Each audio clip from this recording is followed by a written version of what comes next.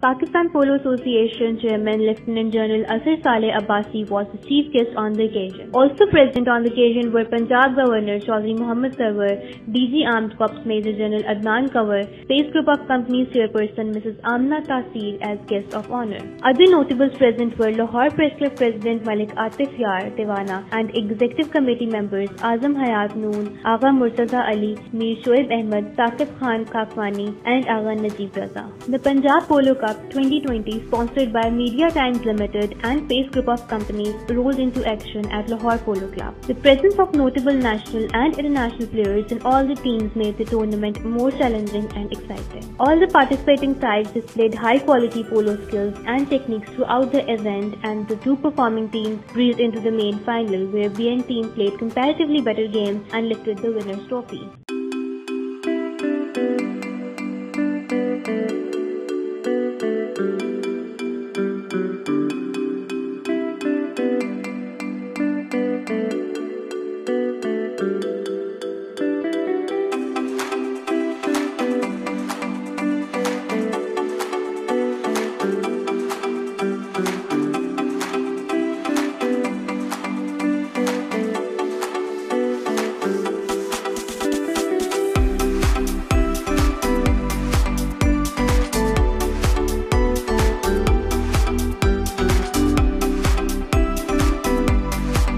While throwing light on the history of Punjab Polo Cup, Lahore Polo Cup President Malik Atif Yar Dewana said, as one of the world's oldest polo clubs, Lahore Polo Club relishes the prestigious history of playing the games of Kent. The Punjab Polo Trophy happens to be the oldest polo trophy being played for in Pakistan having been introduced in 1886. Ever since, the tournament has always been played at the world's famous Abad ground of Lahore Polo Club. This tournament saw top polo players placed in various teams in action in the week-long event which produced high quality polo for the entertainment of the lovers of the game. Pakistan Zindabad. Pakistan Zindabad. Pakistan Thank you very much. Hope to see you for the next two Sundays for the National Open Championship.